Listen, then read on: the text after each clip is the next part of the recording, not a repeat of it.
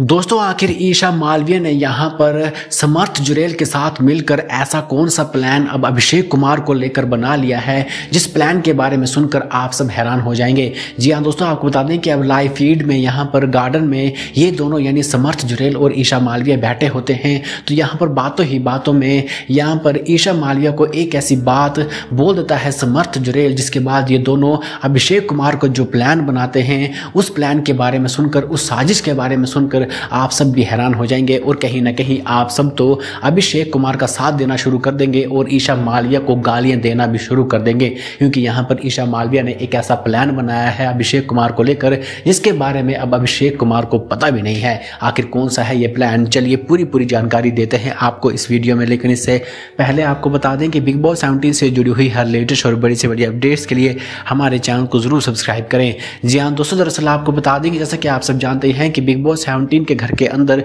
जब से समर्थ जुरेल आया हुआ है, तब से ईशा मालविया ने अभिषेक कुमार का पूरी तरह से साथ छोड़ दिया है। वो गार्डन में ए समर्थ जुरेल के साथ बैठी होती हैं। तो यहाँ पर समर्थ जुरेल गार्डन एरिया में बैठ कर ईशा मालविया को ये बोलता है कि मुझे तेरी समझ में नहीं आ रही है कि तूने इतने दिन इस घटिया इंसान के साथ बिताए ही कैसे? जिस तरह से ये बातों ही बातों में चिल्लाता रहता है, बकवास करता रहता है और सभी लोगों के सामने अपने आप को ये बताता है कि मैं बहुत तेज़ हूँ। उसके साथ तू कैसे बैठती है। मुझे ये समझ में नहीं आ रहा है कि तूने इतने दिनों तक इसे बर्दाश्त भी कैसे किया, जिसके बाद ईशा मालविया हंसने लगती है और अभिषेक कुमार को बोलती है कि मैं तो इससे तंग आ गई हूँ, जब ये सेट पर था, जब हम शूटिंग करते थे एक साथ तो तब भी मैं इससे तंग आ गई थी और मैंने इससे बात करना इसलिए छोड़ दी, मैंने इससे ब्रेकअप इसीलिए कर लिया। जिसके बाद अभिषेक कुमार ये बोलता है कि मैं एक प्लान बनाता हूँ, मेरा ये प्लान है, मेरी ये साजिश है कि मैं हंड्रेड परसेंट अब घर से बाहर निकाल कर रहूँगा, क्योंकि जिस तरह से ये घटिया मुझे लग रहा है।